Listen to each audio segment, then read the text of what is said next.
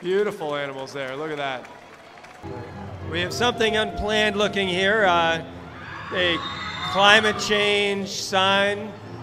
Looks like a, a young folks trying to draw attention maybe to uh, our climate emergency. I think they might be drawing the connection that uh, our farms would be in struggle if we uh, have more difficult uh, weather patterns.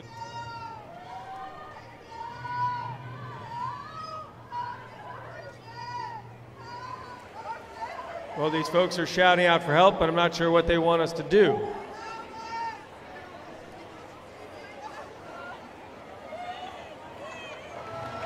They're uh, heading around the folks that are on the road here.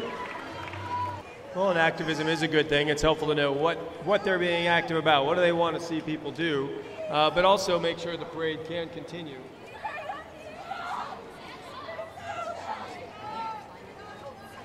Obviously, climate crisis is, a, is the biggest issue of our day. Uh, and folks down here in Brattleboro and Windham County do a tremendous number of things. Uh, but we also want to be able to have the parade continue as well, please.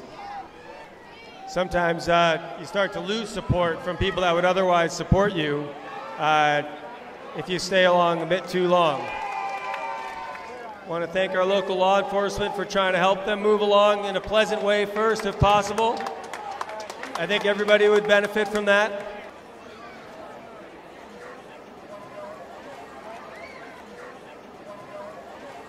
a point has been made to us that actually a lot of the, the floats also have vehicles, and those vehicles are now idling, uh, which is a little counterproductive to the climate crisis. So we get this moved along, we'll uh, get those vehicles moving along, and we'll be able to continue.